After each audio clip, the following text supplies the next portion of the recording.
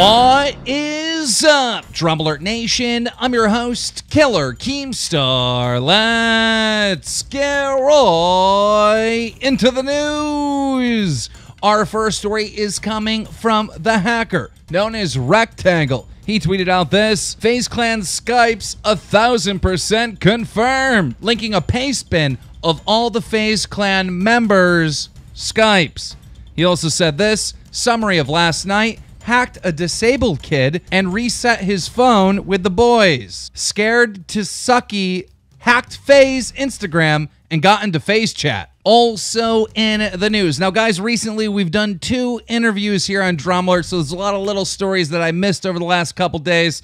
Let's jump into it. If you haven't heard about this yet, this is big news. Microsoft announced that they want to have cross platform between the Xbox One, Windows 10, and other online multiple networks. Yes, possibly PlayStation. So, what exactly does this mean? This means if you're playing on an Xbox One, you can also play online against people on a PlayStation.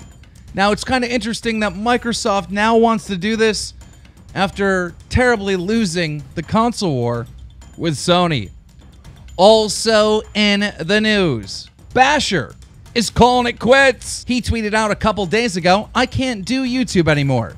It's not a career path that's enjoyable for me. It used to be, but it's time to move on. Take care, guys. Now, apparently, Bashur was just having a rough night because about 10 hours later in the morning, he said this I've been doing YouTube for 10 years now, since June 15th, 2006. Yes, sometimes I want to quit, and I come close, but I can't. It's now my life. You go, Bashur. I believe in you.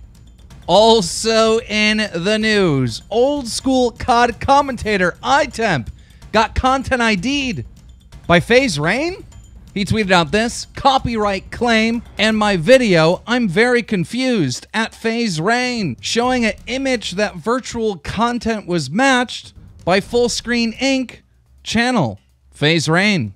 So just to be clear, FaZe Rain didn't manually flag iTemp's videos. It seems like FaZe Rain's network, Fullscreen somehow ran a program and detected there was some type of match.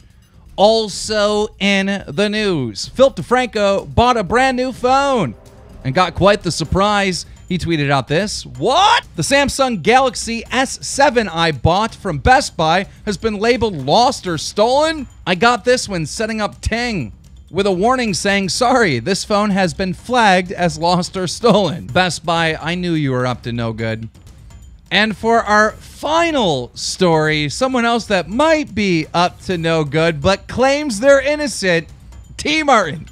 TmarTn tweeted out this I don't recall signing up for Slut Roulette. Sorry. Receiving an email to confirm his Slut Roulette live sign up. Ladies and gentlemen, that's it for the news today. Guys, if you love DramaAlert, make sure you slap a like on it. Let's shoot for two likes real quick. I want to talk about my sponsor. You've probably seen this in the description.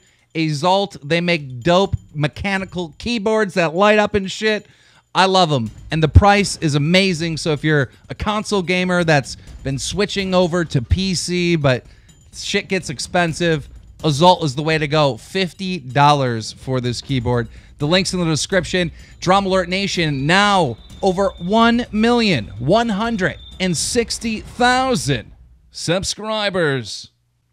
Yo, I'm ready to bet TmarTn really was on Slut Roulette.